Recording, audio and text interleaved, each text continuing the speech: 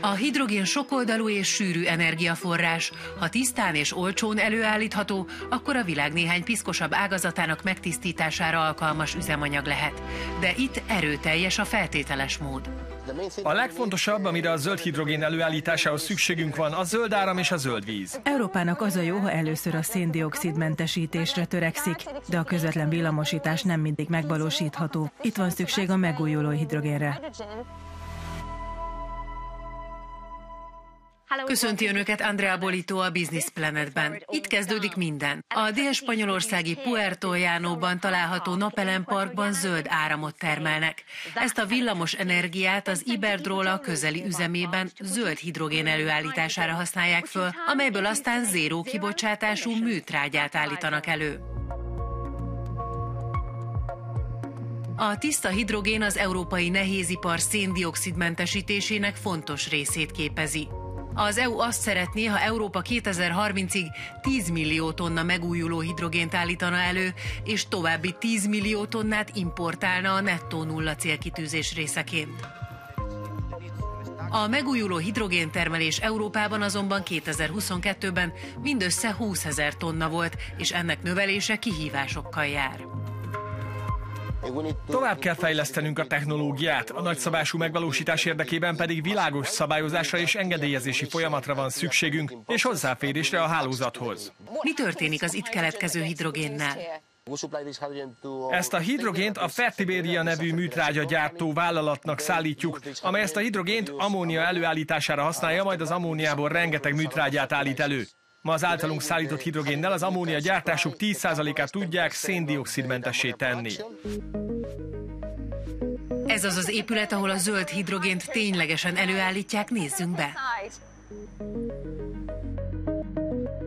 Egy elektrolízis segítségével zöld hidrogént állítanak elő megújuló villamos energiával, hogy a vizet hidrogénre és oxigénre bontsák.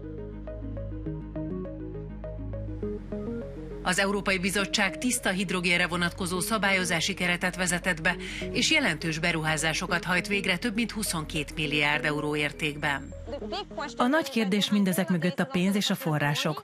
Ott van az innovációs alap, ott van a hidrogénbank, amely néhány hete zárta le az első árverést. Az első árverés értéke 800 millió euró volt, így becsléseink szerint körülbelül 600 megawatt megújuló hidrogénprojektet fognak finanszírozni, de ahhoz, hogy elérjük az EU által kitűzött célokat és a szükséges szinteket, sokkal több finanszírozásra van szükségünk.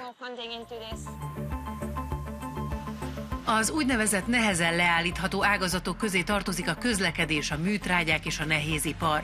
Csak az acélipar a széndiokszid kibocsátás mintegy 7%-át termeli világszerte. A svéd hibrid fosszilis energiaforrásoktól mentes acélgyártó konzorcium a vasércből az oxigént kivonó zöld hidrogénnel kezdte meg az acélgyártást, felváltva ezzel a hagyományos szénnel működő kohót.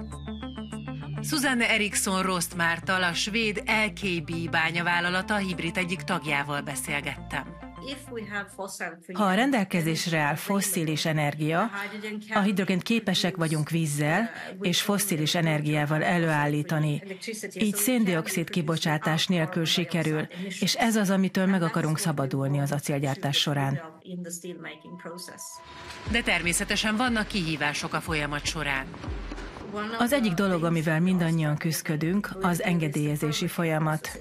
Elég lassú, így hiába állunk készen arra, hogy most elkezdjük az építkezést, még várunk az engedélyekre. Jelenleg a zöld hidrogén drágább, mint a fosszilis tüzelőanyagokból előállított szürke vagy barna hidrogén, de az ipar bízik abban, hogy a különbség csökkenni fog, ahogy a megújuló energiaárak tovább csökkennek. A közeli és középtávú jövőben úgy látjuk, hogy az árak körülbelül 20%-kal magasabbak lesznek, mint a barna acél esetében. És ha ezt egy autó esetében számszerűsítjük, akkor ez valamivel kevesebb, mint 200 euró többletet jelent autónként.